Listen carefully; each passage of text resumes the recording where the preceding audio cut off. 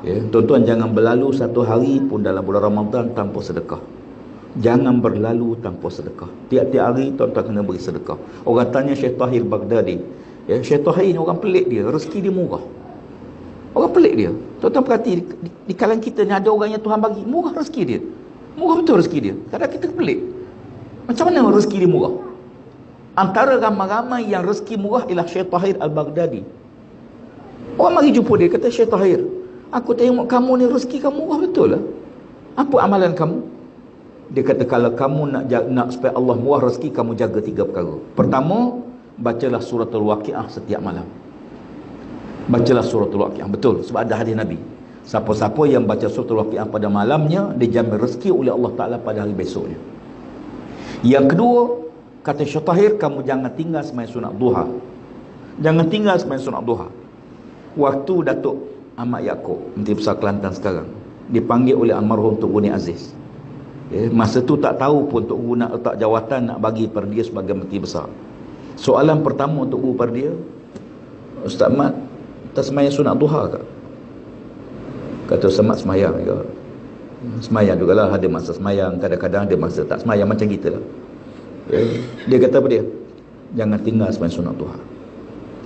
Jangan tinggal semayang Almarhum Tuan Aziz pesan jangan tinggal sembahyang surah. Kata kata Datuk Mat Yaakob, bermula pesanan tu dia tak pernah tinggal sembahyang sunat duha sampai kali ini.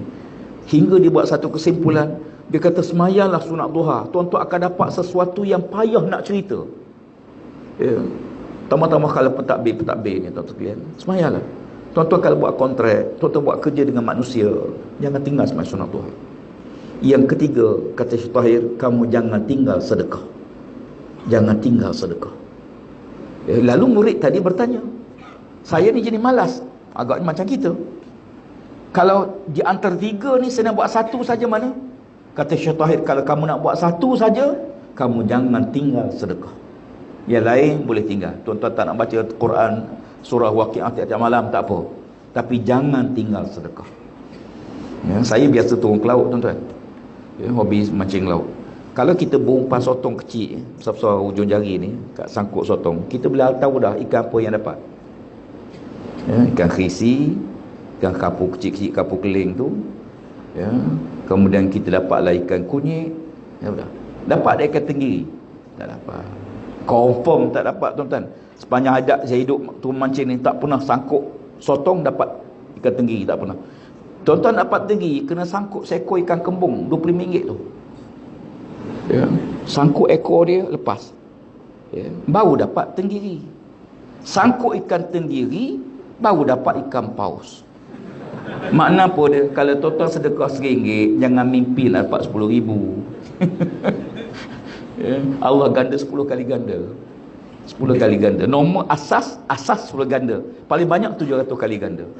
Kalau tuan-tuan bagi RM1 tuan-tuan tahu dah dapat RM10 bagi RM10 baru dapat Seratus ringgit. Bagi seratus Baru dapat seribu. Try seratus kali malam ni. Ha, Try. Hmm. Tengok cuaca macam mana. Ya. Memanglah menung dua minggu. Ya. Almarhum Tok Gunik Mak Ayah Tok Gunik Aziz.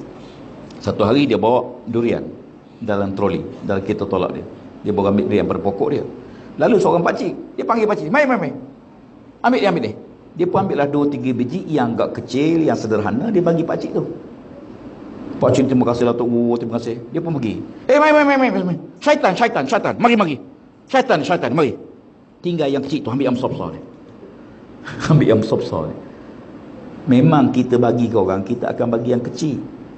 Tapi Allah Ta'ala sebut, lan tanalul birra hatta tumpiqu mimma tuhibbun. Kamu tak akan masuk golongan yang melakukan kebaikan hingga kamu beri benda yang kamu sayang. Tuan-tuan bagi RM1, rasa tak nanti?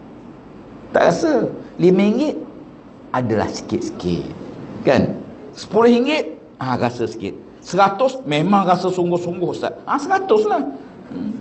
ah, Begitu ah, InsyaAllah ah, Walaupun menung 2 minggu lepas tu Yang ketiga yang yang pertama jangan tinggal sedekah. Yang kedua jangan tinggal baca Quran. Kalau tuan-tuan tak erti baca Quran, jangan dengar jangan tinggal dengar Quran. Tuan-tuan pasang je. Kita tak kerti baca. Kita buka, kita dengar. ya.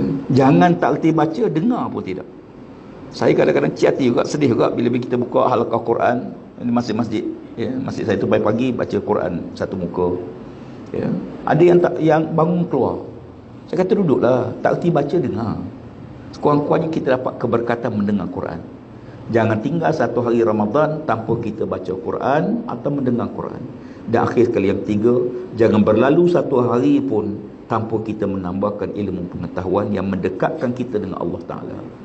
Tuan-tuan bacalah buku dengar kuliah dan sebagainya. Tambahkan kata Nabi kalau berlalu satu hari tanpa menambah ilmu yang mendekatkan aku dengan Allah Ta'ala maka hilanglah keberkatan terbitnya matahari pada hari berkenan.